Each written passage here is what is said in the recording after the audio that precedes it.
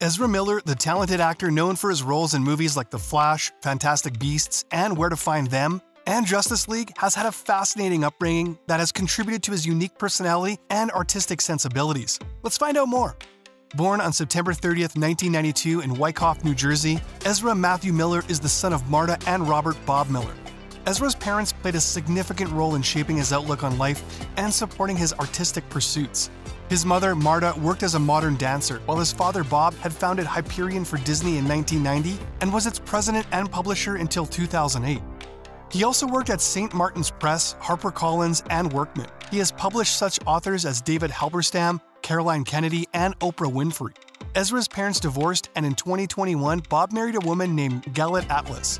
Ezra's childhood wasn't the easiest one as he had speech impediment and his parents made him do opera lessons in order to overcome this problem.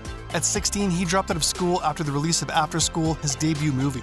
Who would continue to go to school after such a role? Ezra grew up with two older sisters. Saiya, the eldest of the siblings, has made a name for herself as a talented actor.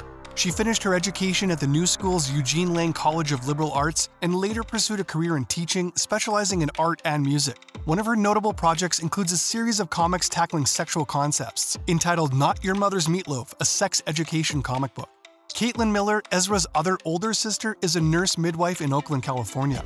She was once caught with her boyfriend at a premiere, but behind the scenes. Ezra's household was definitely an artistic one, undoubtedly influencing his own journey as an actor. Did it influence his other side?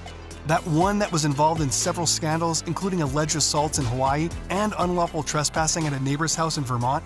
Tell us what you think.